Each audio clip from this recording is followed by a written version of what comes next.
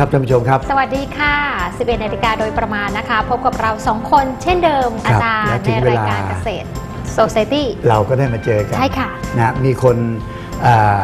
งงงๆกับชื่อรายการหรือเปล่าค่ะที่จริงไม่ต้องงงเลย Society เนี่ยมันค่ะคำว่าอะไรนะ สังคม สังคมเกษตรใช่ไหมค่ะทีนี้เราก้าวสู่ยุค AEC เราก็ต้องค่ะมีไทยมั่งอังกฤษมั่งอ่าแต่สมัยก่อนตอนอาจารย์ค่ะงอางจารย์ๆนะถ้าพูดรายการวิทยุเนี่ยนะค่ะตอนสมัยก่อนยังไม่ได้จัดโทรทัศน์ค่ะ ถ้าพูดภาษาอังกฤษไปคำเลยก็โดนอ้าวหาว่าพูดไทยคำอังกฤษคค่ะำอ๋อใช่ไหมเดี๋ยวนี้ะคะก็เลยต้องมีอังกฤษแทรกไปบ้าง ค่ะเพราะฉะนั้นเอาซะหน่อยสิ ค่ะ ปีหน้าภารับ ษา AEC ภาษาอังกฤษสำหรับเกษตรกรค่ะอะเดี๋ยวผมขึ้นให้นะค่ะ นึกนึกคำไว้ค่ะ นะ ภาษาอังกฤษสำหรับเกษตรกรวันนี้เสนอคำว่าโซนนิ่งทำหน้าได้นิ่งก็ด้วยเลยต้องนิ่งๆ ค่ะอาจารย์โซนนิ่งใช่เหรอค่ะ เพราะว่าเราเคยคุยกันไปอ่าเรื่องพืชโซนนิ่งค่ะอาจารย์อืมหลาย ๆ คนก็ยังไม่เข้าใจวันนี้เรามาย้ำกันอีกทีหนึ่งได้ครับนะคะคืออย่างนี้ครับตอนหลังเนี่ยเราได้ยินบ่อยมากเกษตรค่ะโซนนิ่งโซนนิ่งโซนนิ่งคืออะไร แล้วคนก็ไปเข้าใจว่าเกษตรโซนนิ่งเนี่ยมันเป็นค่ะระบบเกษตรแบบใหม่หรือเปล่า สมัยก่อนเคยได้ยินเกษตรอินทรีย์ เกษตรเคมีค่ะเกษตรปลอดสารพิษอะไรเงี้ยใช่ค่ะไอ้เกษตรโซนนิ่งมันเป็นวิธีการยังไงเหรอค่ะ ไม่เกี่ยวกับวิธีการนะค่ะเกษตรโซนนิ่งหมายถึงว่าการที่เราจะทำการเกษตรค่ะแล้วเราปลูกพืชชนิดนั้นเนี่ยค่ะถูกกับที่ที่ควรจะปลูก พื้นที่พื้นที่เนี่ยค่ะเหมาะที่จะปลูกพืชอะไร ก็ค่ะเอาพืชนั้นไปปลูค่ะกอย่างเช่น ยกตัวอย่างเช่นค่ะเวลานี้เนี่ยอ้อยไม่พอ ค่ะอาจารย์นะฮะยกเว้นคนชื่ออ้อยเยอะนะฮะ แล้วก็นอกจากอ้อย ที่ไม่พออย่างก็ค่ะคือข้าวโพดเลี้ยงสัตว์ อ๋อข้าวโพดไม่พอ นาข้าวหนูว่าพอไหมตอนนี้ ไม่พอค่ะไม่พออะไรแล้วเหลือเฟือ ตอนนี้นาข้าวเหลือเฟือ นาข้าวนะคะ เพราะฉะนั้นเราก็เลยพยายามบอก เฮ้ย บางที่เนี่ย คุณไม่ค่ะควรที่จะไม่ควรที่จะไปปลูกข้าวเนี่ยคุณไปปลูกทำไม ไม่เหมาะกับพื้นที่นั้นเอายกตัวอย่าง ค่ะอย่างได้ อย่างพี่น้องเกษตรกรของเราบางที่อยู่อีสาน ค่ะ อีสานปลูกข้าวเนี่ย ปีละครั้ง ค่ะ ต้องรอน้ำมา น้ำมาไม่มาไม่ไม่ไม่สม่ำเสมอค่ะอาจารย์ข้าวแห้งตายโอ้น้ำมามากค่ะน้ำท่วมข้าวตาย สรุปแล้วปลูกปีละครั้ง ตายปีละสองครั้งโอ้โหไม่คุ้มกันเลย ตายครั้งแรกก็คือค่ะอาจารย์ลงหว่านข้าวแล้ว น้ำไม่มา เลยแห้งตายค่ะนาครั้งที่สองหว่านข้าวแล้วค่ะน้ำมาเยอะ น้ำท่วมตาย บางคนก็บอก เอ้ยรู้เปล่าปีนี้อีสานทำนาปีละสามครั้งอืม คือครั้งแรกแห้งตาย ค่ะครั้งที่สองท่วมตายสามครั้งจริงๆ ครั้งที่สามถึงจะพอดี สามครั้งจริง ๆ อาจารย์แต่พืชหลายอ่า ชนิดก็ปลูกทั่วไปแล้วนะอาจารย์อย่างยางพาราถูกเห็นภาคใต้เอาวันนี้เขาไปปลูกภาคอีสาน ปลูกทางภาคอีสานภาคเหนืออ่าเอานี่แล้วซึ่งดินมันซึ่งได้เหรอคะ ซึ่งปลูกได้ครับ ค่ะอาจารย์ ปลูกได้เพราะเขาวิจัยมาแล้ว โอ้เพราะฉะนั้นเราก็หวังว่าอะไร หวังว่าเฮ้ย พื้นที่บางอย่างก็ข้าวปลูกค่ะออกมาอาจารย์เยอะจนเป็นภาระประเทศ อย่างเนี้ย พื้นที่ตรงไหนไม่เหมาะจะปลูกข้าว อย่างเช่นที่ผมยกอย่างสัค่ะอาจารย์ เราบอกเฮ้ยน้ำมันมีแต่มันมีไม่มากนัก เอาอ้อยไหมอืม เพราะอ้อยเวลานี้นะครับท่านผู้ชมกลายเป็นว่า อ้อยเนี่ยโรงงานมากกว่าพื้นที่ปลูกนะ ไม่พอเลยไม่พออ้อยค่ะป้อนาจารย์โรงงานไม่มีประธานโทษเดี๋ยวนี้เราค่ะไปปลูกกันในเขมรในลาววายแล้วก็ตัดเข้ามา โอ้ค่ะ แปรรูปอะไรที่เราเนี่ยไปตั้งโรงงานที่นู่นเลยค่ะก็มีนะ เพราะฉะนั้นคำว่าเกษตรโซนนิ่งเนี่ยคือการวางพืช ให้เหมาะกับพื้นที่นะฮะแต่มันเพิ่มมากขึ้นไปอีกนิดหนึ่งค่ะอาจารย์ตรงที่ว่านอกจากวางพืชให้เหมาะกับพื้นที่แล้วเนี่ยเราจะควบคุมปริมาณด้วยอืมต้องคุมด้วยเหรอคะ ให้ดีมานสปายอ๋อขออภัยพูดภาษาอังกฤษค่ะให้ความผลผลิตที่ได้ กับความต้องการค่ะมันพอดีกันแน่ต้องบอกใช่แมทชิ่งค่ะอย่างเงี้ย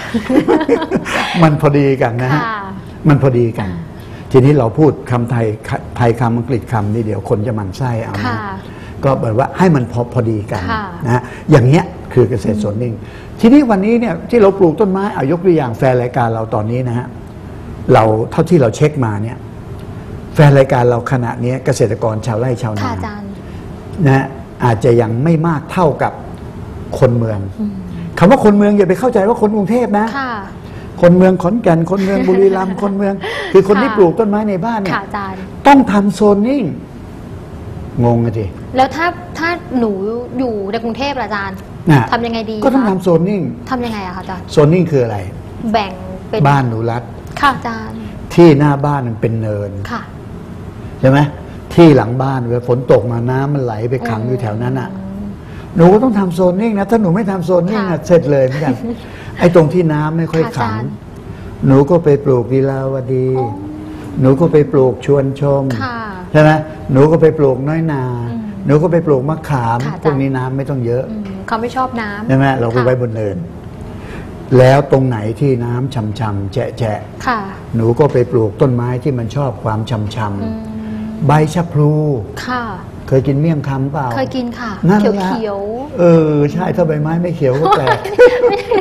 หมายถึงว่าใบเขามีสีเข้มมากเลยสีเข้มมากเลยค่ะใช่ไหมแล้วนอกจากชักพูแล้วปลูกอะไรได้อีกไหมคะอาจารย์อะใบชะพลูนี่จะชอบชุ่มๆช่ำๆหรือถ้าหนูปลูกอย่างขิงแดงค่ะขิงแดงเป็นไม้ประดับที่สวยมากนะนะถ้าไปอยู่ตรงที่ชุ่มชุ่มๆค่ะช่ำๆทีนี้ช่ำแล้วร่มด้วยอืมเออถ้าขิงแดงนี่ช่ำนะ แต่ยังต้องการแดดลำลายค่ะลำลายแดดสักครึ่งหนึ่ง อ๋ออยากได้แดดด้วยแต่ถ้าฉ่ำค่ะอาจารย์ๆแล้วร่มร่มๆด้วย อืม เออไอ้นี่ก็อะไรดีมีคะอาจารย์ พวกเฟิร์นไง อ๋อ พวกเฟิร์นค่ะ เฟิร์นก็มีเฟิร์นใบมะขามเฟิร์นก้างปลาเฟิร์นโอ้โหสารพัดเฟิร์นใช่ไหมค่ะ เพราะฉะนั้นถ้าตรงนั้นมีต้นไม้อยู่ต้นหนึ่ง แล้วมีขาคบไม้อยู่ ค่ะ ตรงนี้ที่ชุ่มๆฉ่ำๆไอ้น้ำมันก็โอ้ ระเหยขึ้นไปใช่ไหมเอ้าหนูก็เอาเฟิร์นชายผ้าสีดา ไปเกาะที่ต้นไม้อีกแล้ว เขาก็ได้ไอเย็น แต่ถ้าหนูไม่ทำโซนนิ่ง ค่ะหนูก็เอาชายผ้าสีดา ไปเกาะกับต้นมะม่วงหน้าบ้านจะโชว์ แต่หน้าบ้านเนี่ยเป็นที่เนิน ค่ะ น้ำไม่ขังก็แห้งชายผ้าตาย สีดา อันนี้ก็ต้องมีการสำรวจนิดนึงคำว่าะโซนนิ่งอาจารย์สำคัญนะโอ้คำว่าโซนนิ่งเนี่ย ค่ะ เพราะฉะนั้นในวงการเกษตรเราก็คาดหมายอย่างค่ะนี้ อาจารย์ ถึงขนาดมีบางคนบอกว่าอย่างนี้ สงสัยต้องจ้างชาวนาเลิกปลูกข้าวอืมแล้วให้หันมาปลูกอ้อยกับค่ะข้าวโพดหนูไม่น่าเชื่อข้าวโพดวันนี้เราต้อง import คือต้องนำเข้ามาจากต่างประเทศโอ้ยังต้องนำเข้านะค่ะประเทศไทยเป็นประเทศเกษตรกรรมเนี่ยยังต้องนำเข้ายังไม่ที่พดูอดิอีกเหรอคะไม่พอคือดูเวลานี้มันไม่ มันไม่สมดุล เอ๊ะวันนี้ทำไมติดภาษาอังกฤษมาก จะพูดว่าบาลานซ์อีกแล้ว ABC ค่ะ มันไม่ balance กัน ค่ะอาจารย์ มันไม่สมดุลกันระหว่างพืชบางชนิด บางชนิดมาก บางชนิดน้อย ยกเว้นกรณีที่เขาทำให้มันขาดโดยเจตนามีด้วยเหรอคะหนูบังคับให้หนูขาดเคยได้ยินไหมแล้ววันนั้นมันปาล์มขาดไปบ้านเมืองเราอะ ค่ะ บางทีมีก็ทำให้ไม่มีก็อุ๊ยก็มีเยอะ เทคนิคมันมากไอ้ของพวกนี้เราก็อย่าไปพูดถึง เรารายการเกษตรค่ะ นะฮะอ่า ค่ะเนี่ยก็ก็ต้องสำรวจพื้นที่กันสักนิดหนึ่งนะคะอาจารตย์กลงหนูรัฐก็ขึ้นต้นเลยว่าโซนนิ่ง ก็คือเกษตรโซนนี้นั่นเอง เราฝากภาษาอังกฤษที่เป็นชื่อค่ะผลไม้สักคำไหมค่ะเอาเลยดีค่ะอาจารย์ ภาษาอังกฤษสำหรับเกษตรกรวันนี้เสนอคำว่า บานั่นน่ะ เกี่ยวไหมคะไม่เกี่ยวบานาน่าใช้ได้ครับนะคะบานาน่ากล้วยนั่นเองแปลค่ะว่ากล้วยค่ะเอาละค่ะ เดี๋ยวช่วงนี้พักกันสักครู่นะคะ ช่วงหน้ากลับมาติดตามกันต่อค่ะมีเรื่องอะไร ให้น่าสนใจติดตามกันช่วงหน้าค่ะ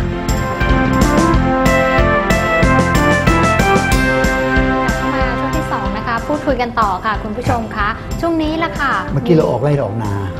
คราวนี้เรากลับมาอะในกลับเมืองเข้ามาบ้มั่งเออนะคะ ช่วงนี้ละค่ะในเรื่องของดอกเล็บมือนาง อืมนะคะ หนูชอบมากเลยอาจารย์ล็บมืดอกนางสวยๆไหนขอดูเล็บมือนางหน่อยที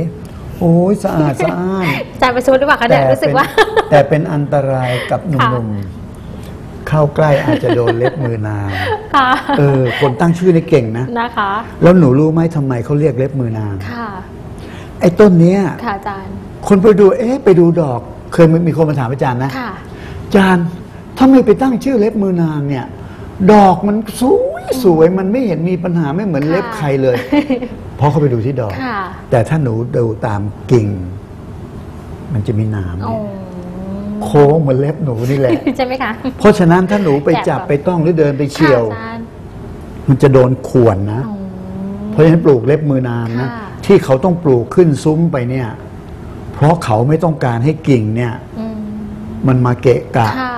แล้วถ้าเกิดขวนเข้าไปเนี่ย โทษนะฮะโอ้ถ้าลูกๆหลานๆเด็ก ๆ นะ ค่ะ เกิดพลาด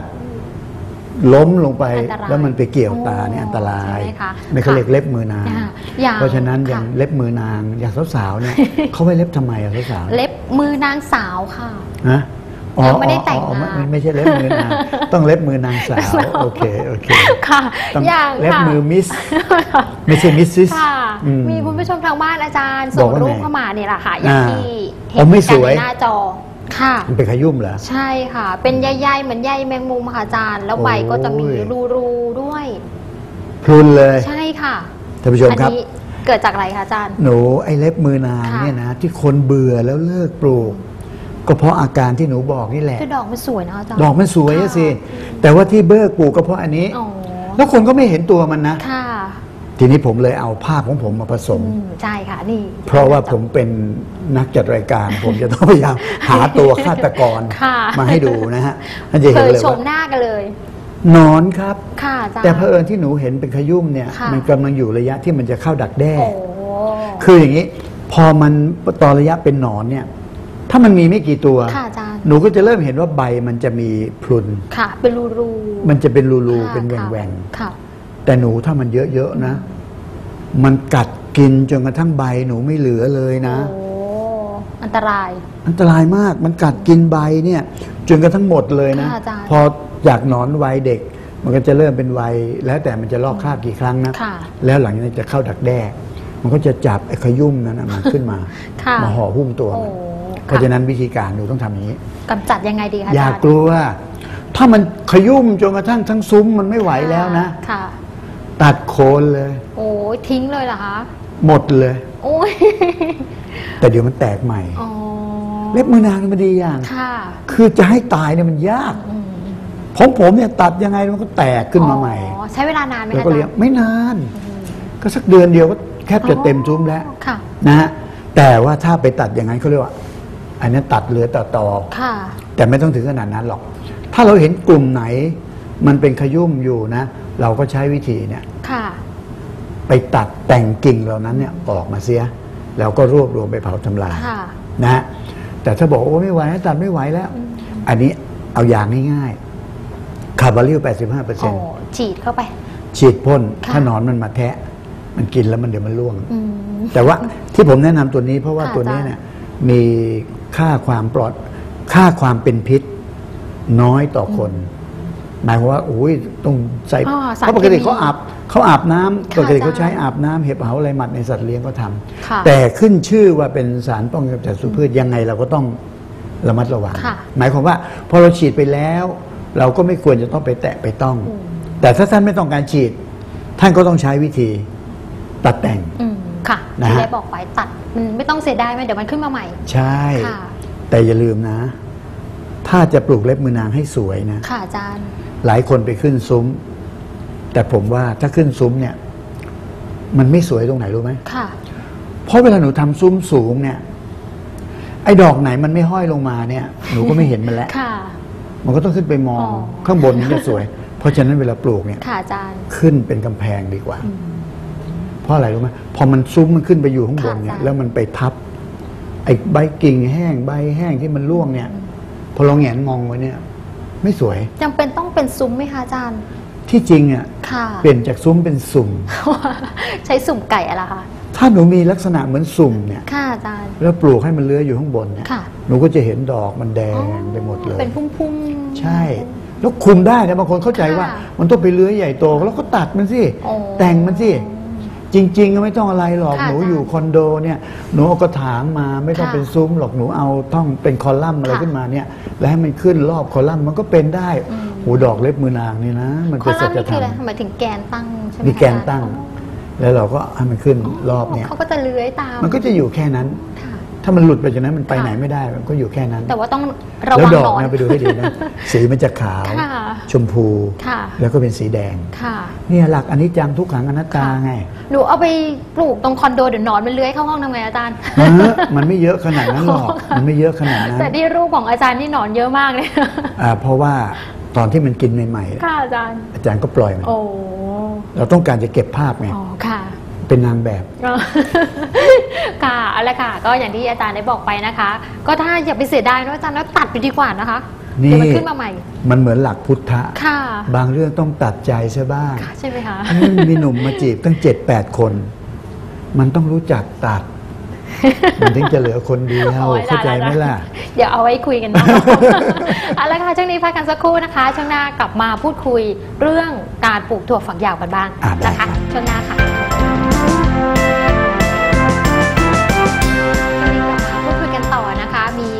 จากคุณผู้ชมทางบ้านเนี่ยแหละค่ะอาจารย์ก็ครับส่งรูปมาทาง Facebook ด้วยนะคะ ในครับเรื่องของการปลูกถั่วฝักยาวอืม เขาบอกว่าครับ ปลูกแล้วใบแห้ง อืม เป็นเพราะอะไรคะอาจารย์ เออ น้ำท่าก็ลดอะไรก็ดูแลใช่ใช่ไหมค่ะอืมแหมพูดถึงตัวฝักยาวเดี๋ยวขอค่ะคุยนอกเรื่องค่ะก่อนนะผมเป็นพวกชอบคุยนอกเรื่อง ค่ะ ชอบทานไหม ชอบทานค่ะ ทานกับส้มตเออ แล้วแล้วตอนที่ทานนี่เขาใส่มาทั้งฝักยาวๆไหมำ ก็หั่นเป็นบ้องเล็กๆค่ะอาจารย์ เออ แปลกนะ ค่ะ คนปลูกถั่วฝักยาวเนี่ยเวลาปลูกเนี่ยต้องฝักยาวๆค่ะแต่เวลากินเนี่ย เอามาหั่นให้มันสั้นใช่ค่ะเอ๊ะทำไมไม่ปลูกถั่วฝักสั้นซะ เนาะอะเออ มีด้วยเหรอคะอาจารย์ มีนะมีไหมคะจริงๆก็ไหมเป็นคะถั่วฝักสั้นไปกินได้ ถั่วพุ่มเนี่ย ค่ะ ฝักก็สั้นค่ะ ๆ ไม่ต้องขึ้นค้าง อ๋อ ก็กินได้ ค่ะแต่คนก็ไม่ค่อยปลูก ค่ะคนก็อยากกินถั่วฝักยาอ้าววฝักใช่ไหมยาคะวๆแต่ถ้าอย่างที่อาการที่ค่ะหนูถามมา ค่ะ ใบแห้งใช่ไหมใบแห้งค่ะอาอ่าจารย์คราวนี้จะพาหนูไปอย่างนี้ค่ะอะบอกก่อนเลยก็ได้ว่าโรคอะไร โรคเนี้ยเขาเรียกว่าโรคใบจุดใบจุดค่ะ อ่าแต่หนูอาจจะแปลกใจว่าอ้าวก็มันแห้งโรคใบจุดทำไมมันแห้ง ค่ะ เพราะมันมีหลายจุด มันก็เลยแห้งรูปเนี่ยค่ะอาจารย์ ใช่ไหมเนี่ยเนี่ย ถ้าหนูดูนะ จุดจะเป็นจุดสีน้ำตาล ค่ะถ้าดูบนใบนะ ค่ะ แต่ถ้าพลิกดูใต้ใบนะ จะเห็นสีเทาเข้มโอ้นะจะเห็นสีเทาเข้ม ค่ะ แล้วก็ไอ้จุดเล็ก ๆ เนี่ยพอมันจุดๆเป็นจุดๆเลยนะเป็นอาจารย์มากๆเนี่ยค่ะ ใบมันก็จะแห้งตาย อื